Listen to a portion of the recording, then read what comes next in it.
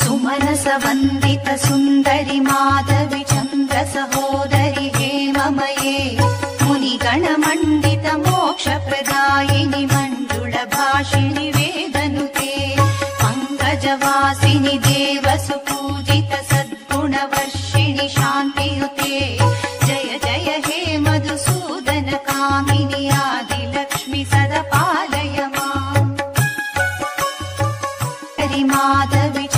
सहोदरि हे मम मुनिगणमण्डितमोक्षप्रदा